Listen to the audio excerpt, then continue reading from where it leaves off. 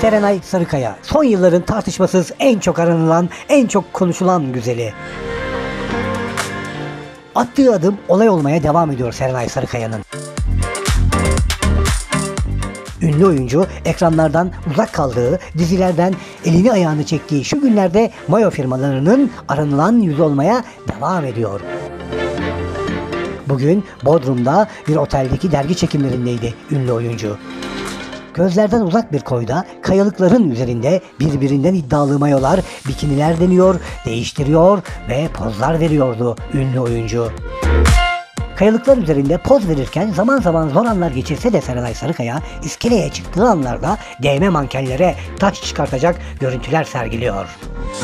Başında Selin'in trend şapkası, altında siyah beyaz bir bluz ve onun da altında son derece şık bir mayosu var Serenay Sarıkaya'nın. Havaya girmek için fonda çalan müzik kanını kaynatıyor Serenay'ın. Hem dans ediyor hem pozlar veriyor.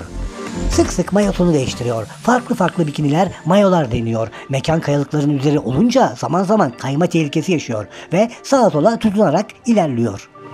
Serenay Sarıkaya'nın şimdi de üzerinde rengarenk bir mayo var. Ayağındaki yüksek topuklu terliklerle boyu neredeyse 1.80. Serenay Sarıkaya bu renkli dakikaların finalini deniz içinde dans ederek yapıyor.